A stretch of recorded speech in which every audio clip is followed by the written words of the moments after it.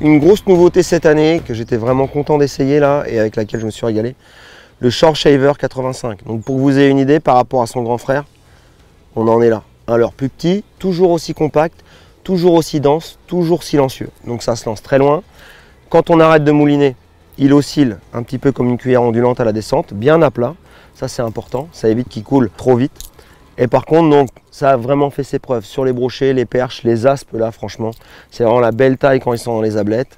Et après, par contre, sur les barres en mer, on ne l'a pas testé encore en Méditerranée. Je reste persuadé que sur tout ce qui est bonite et poisson bleu là, ça va être une vraie tuerie.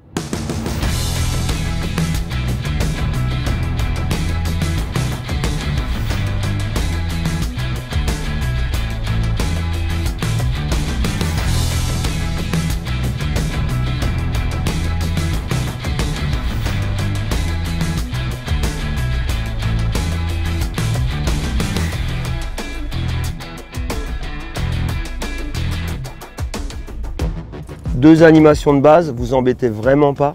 Donc il y a l'animation classique Walking the Dog, un peu comme on ferait avec un stick, sauf qu'il est coulant, donc on ne voit pas spécifiquement. Par contre, si on accélère, vous allez pouvoir lui faire percer la surface et obtenir un petit peu un phénomène comme si un poisson était chassé là.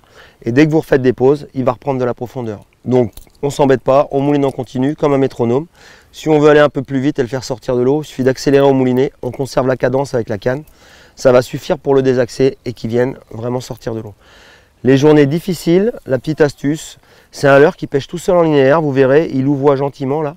Donc vous pouvez très bien l'envoyer, vous le laissez couler à la profondeur où vous souhaitez et vous moulinez lentement en continu. Vous pouvez faire quelques pauses si vous souhaitez reprendre un peu de fond. C'est vraiment un gros plus quand il fait grande lumière, de l'eau très claire, des poissons un peu difficiles.